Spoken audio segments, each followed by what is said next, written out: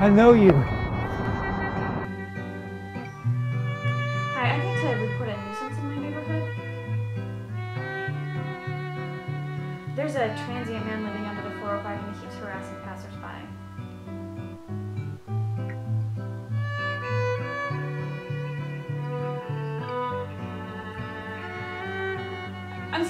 Ridiculous. I pay exorbitant tax dollars to live in the nicest part of the city, and then there are these homeless people. They're just living on the street for free, and it's the taxpayers that have to foot the bill. What is this, Canada?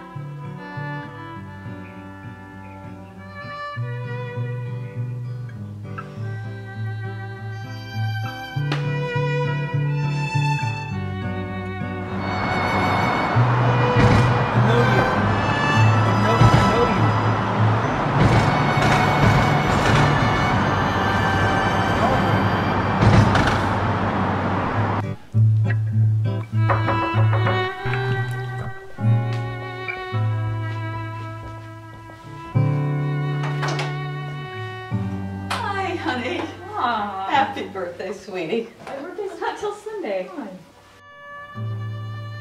So, how's Dad? Busy, as usual. We brought you a little present. Mom, I told you I didn't want presents.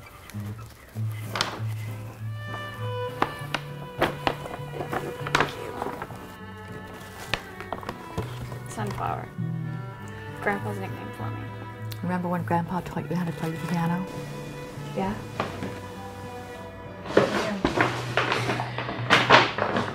I remember that I wanted to study music and you wouldn't let me. Honey, there's no money in that.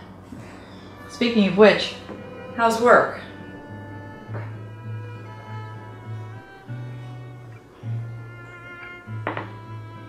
Fine, Mom. Work is fine.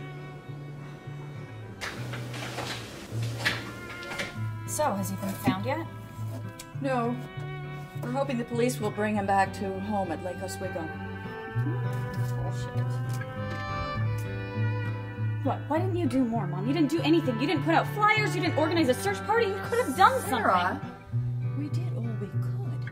Have a little patience. I cannot believe how nonchalant you are being about this. He's your fucking father. It's like you don't even care that he's been missing for two weeks. Well, you're a fine one to talk.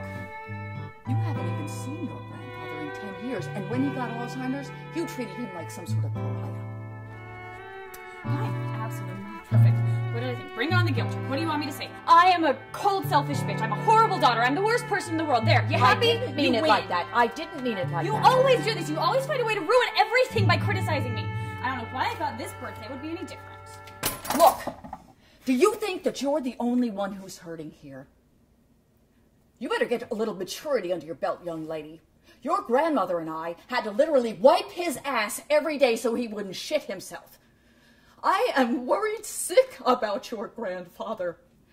I cry myself to sleep at night, thinking about him alone, cold, in the dark, and no one will care for him. Mom, I'm sorry. I'm sorry, Mom. You're right. I wasn't there for him when he needed me the most. I just.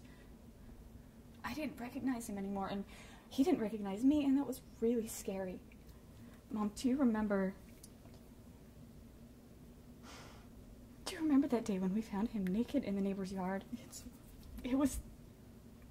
Mom, it was like he was already dead.